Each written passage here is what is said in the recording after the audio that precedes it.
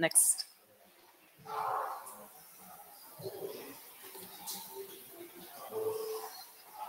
So I, I, didn't anticipate the format will be this way, but I, I will try my best here.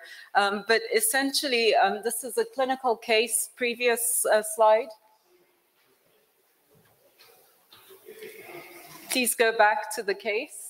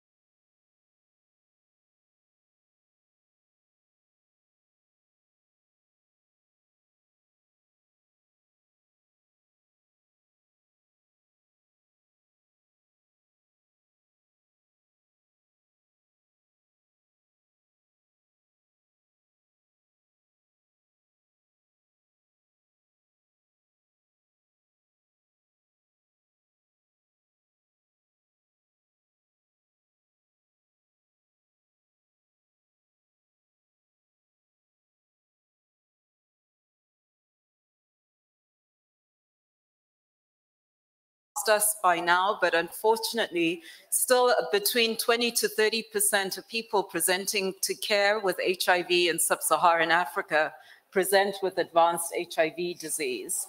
And some of this has been exacerbated lately, in part due to COVID and access uh, to treatment facilities, where we're seeing more and more people present